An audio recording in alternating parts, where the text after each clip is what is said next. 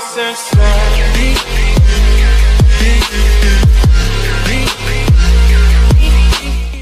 Rosalinda López Hernández, hermana del gobernador de Tabasco, Adán Augusto López, y esposa del mandatario de Chiapas, Rutilio Escandón, no estará a cargo del Servicio de Administración Tributaria como se había especulado, pero conservará un cargo dentro del órgano adscrito a la Secretaría de Hacienda y Crédito Público, aclaró el presidente Andrés Manuel López Obrador.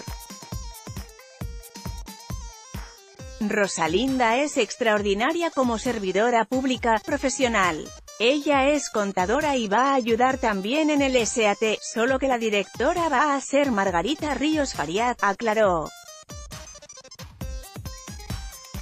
Durante la conferencia matutina de ayer en Palacio Nacional, López Obrador aseguró que la nueva titular del SAT, Margarita Ríos Fariat, siempre fue considerada para el puesto y calificó de «volada» los rumores que advertían de un asunto de nepotismo dentro del gobierno federal.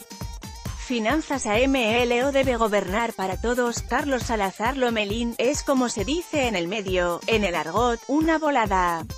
Por eso es importante aclarar esto, Margarita Ríos Fariate es una abogada muy prestigiada, honesta, es de Nuevo León y siempre fue considerada para este cargo, insistió. La abogada originaria de Monterrey tiene una trayectoria amplia como docente y escritora.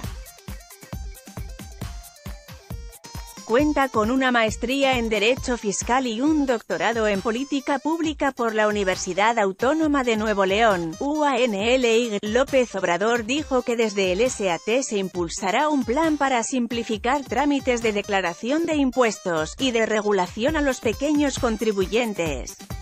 El Congreso ya analiza una iniciativa para crear la Ley de Confianza Ciudadana, con la que ha prometido se evitarán las supervisiones en los pequeños negocios, y se establece un mecanismo de auditorías aleatorias.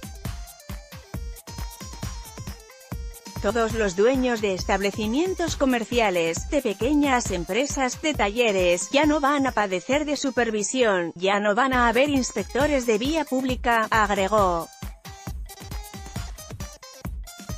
Finanzas Gobierno de López Obrador enfrenta grandes retos. Moody's, por otro lado, anunció que aumentará el porcentaje de las participaciones federales en el paquete del presupuesto de egresos federales 2019, según acordó con los mandatarios estatales durante la Conferencia Nacional de Gobernadores.